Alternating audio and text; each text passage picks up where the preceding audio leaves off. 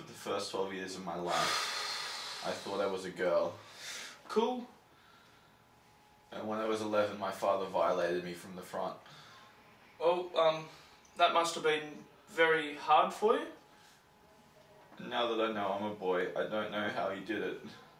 I don't know how he did it! Like, I'm gonna have to stop you there. This isn't where I parked my car.